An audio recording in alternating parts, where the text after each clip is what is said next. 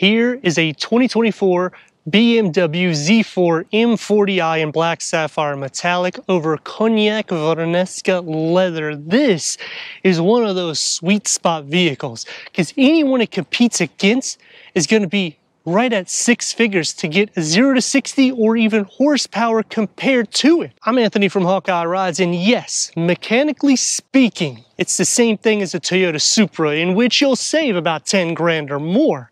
In the front gets full LED headlights. The iconic kidney grille is going to be more sleek giving a wide profile and a low stance so it has that aggressive front fascia with a long hood. And when you go M40, instead of going S-Drive 30i, you're swapping that 2.0 twin power turbo into this 3.0 liter BMW M powered turbo inline six cylinder. That's gonna have 382 horsepower and 369 pound feet of torque paired to the ZF eight speed automatic transmission. Why is this a sweet spot? Because you're getting a zero to 60 at 3.9 seconds. Now, Let's put this into perspective with Porsche.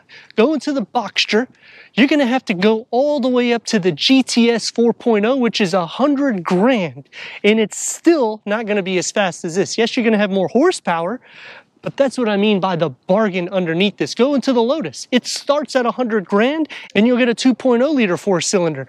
The supercharged V6 is still gonna be slower than this. Unfortunately, BMW is going to put it on the chop block. So 2026 around March is when they're gonna stop making these. So if you want this example, I hate to say, you might have to rush a little bit quicker. We got a stagger setup. This is a 255 35 19 in the front with a 275 35 19 out back, gloss black wheels. The M brakes, red calipers, four pistons in the front, single floating caliper in the rear. So this is track worthy. And when I'm saying these numbers, this is faster than Maseratis. This can be faster than Aston Martins, Bentleys. When you're thinking of the value, yeah, it's going to top around 75 to near $80,000, but nothing. The only vehicle that comes to mind that would be a sweet spot besides this, in which it's going to be a coupe, the Nissan Z. You're going to get 400 horsepower with that because it's the old Infiniti Q60 Red Sport 400 engine, which they discontinued that. So when you're starting to look at luxury performance vehicles, who do you have left?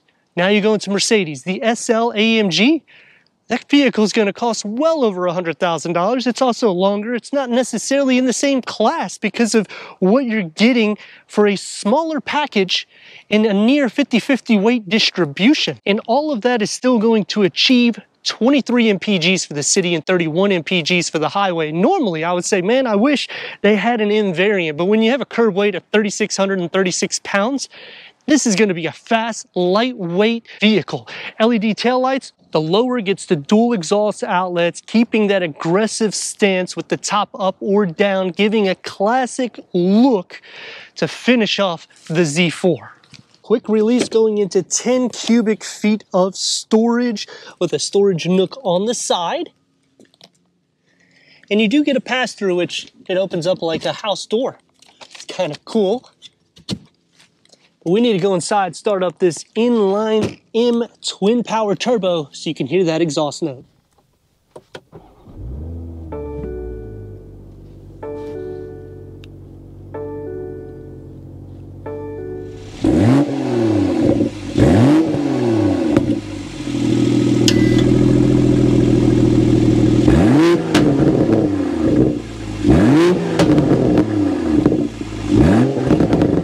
14-way power seat adjustment for the driver and passenger, heated front seats, manual cushion extensions, memory for both the driver and passenger. Headroom and legroom.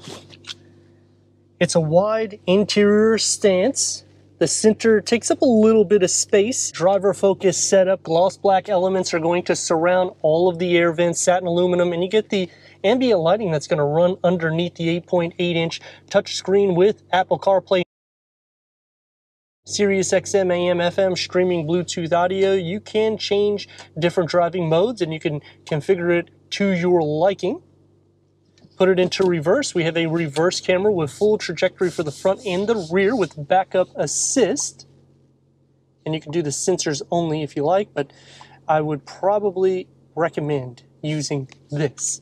Going into dual climate control settings, open up the Z4 to a wireless charging pad, the digital key for the Z4, USB 12 volt. You're going to have the galvanized interior elements and the key fob for the M40i. Gloss black elements. This is going to be more sporty. It opens up for the cup holders with another USB port and some storage in between. Leather wrap steering wheel, M-Spec heated multi-function with adaptive cruise control, lane keep assist. The paddle shifts and the gauge cluster is a 12.3 digital reader that can go through an array of information. When you click onto the BC that is right here on the top of the stock, and when you change the driving modes, it will change out the configuration. Same thing with the heads-up display.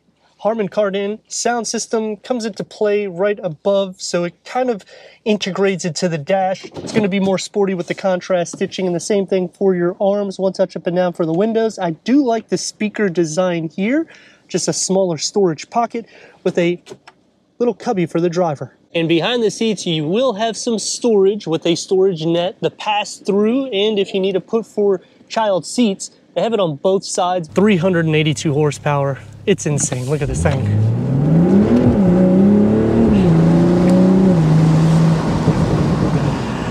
That exhaust is crazy. Look at the dynamics. Oh, it just rips through the corners. If they didn't put tire shine on this thing, I would be going a lot faster. You feel confident, composed, I like the spit that's coming out of that exhaust. Oh man. But let's see the brakes. You can stop on a dime if you need to. Now we're gonna see that 3.9.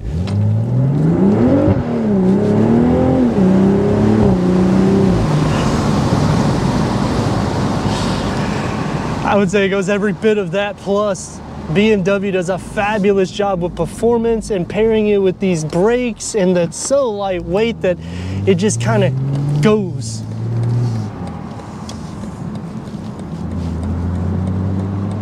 You feel confident on every bend.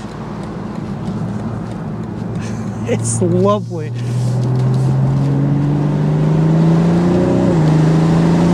And a symphony that comes out from that exhaust, wow. When you go into an M Sport variant, you're getting this engine for the M440i, in which that shows what I mean by the power that comes underneath the hood because this vehicle weighs a lot less. I'm gonna just put it in comfort before I get pulled over.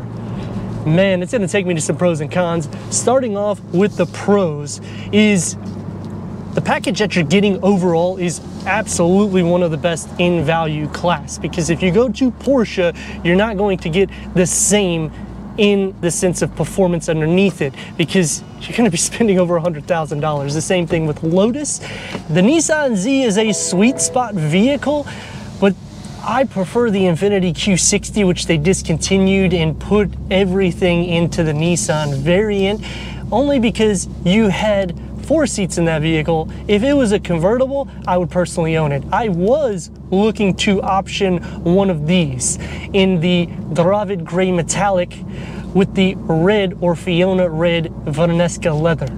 Pricing is still going to be about seventy-seven to eighty thousand dollars for it, in which it puts you at an M4 competition price base model.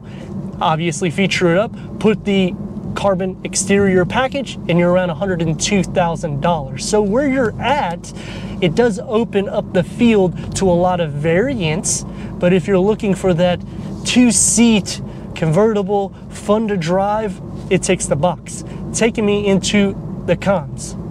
The way they integrated the 8.8 inch screen, I'm fine with. I think they did a great job, but then in the back, they should have just polished it off like they did in the front, not making it where it's two parts because it looks like it's in the dash from the driver or passenger side. The driver focus setup I'm okay with, but I absolutely dislike these cup holders. I purposely brought a, a drink with me just to see how it was and I had to keep my arm up the whole time. So I would say that's the biggest problem that I have with this vehicle is you do not have any storage at all. So for a daily use, it's not gonna be as practical as I would personally like. I used to own a Cadillac XLR. It's a two seat variant. I didn't have the V series because it wasn't out at the time when I purchased it. They came out a couple years later. However, I had storage. I had cup holders. The infotainment screen is big enough, the gauge cluster, everything of the design is good, but then these Harman Kardon speakers that's right in front, it looks like it was an afterthought. They forgot to put them and they said, oh, you know what? Let's throw it in there. Because this is the same more or less as a Toyota GR Supra, I would like to see maybe a little bit more performance on this side because when I'm in the GR Supra, I like it. It's a little bit more noisy, but you can only get it as a coupe.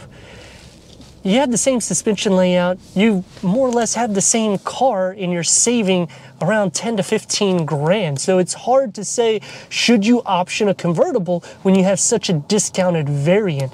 As for other rivals, Mercedes, all of which is going to be over $100,000. Audi, they don't even make a two seat that would be comparable to this. The TT RS was the absolute best because that five cylinder, just a phenomenal engine, but they don't make the RS anymore.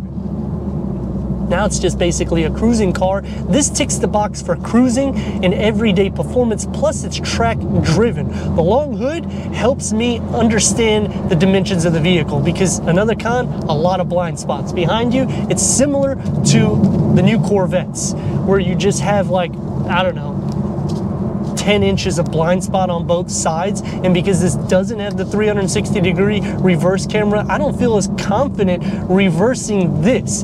I felt the same way in the Mercedes AMG SL63, but that's over $200,000. So we're not gonna compare the two, just saying how the feel is. You do sit up higher in this where you sit lower in the Mercedes, which I like the way I sit in that one because it just boasted more of a dominant stance where this one it's a little abnormal. I would like to sit down a little bit more so because I'm tall. If you're shorter than six foot, I don't think you're gonna have an issue, but even being six foot, you still won't. Moving in and out of lanes is not gonna be a problem. The steering's light.